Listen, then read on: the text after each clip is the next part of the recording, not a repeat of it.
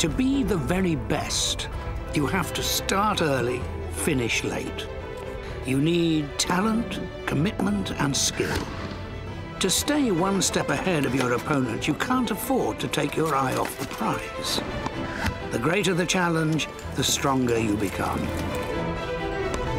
To be a sniffer dog takes time, hard work, and dedication. Only the best succeed. Something Andy knows all about.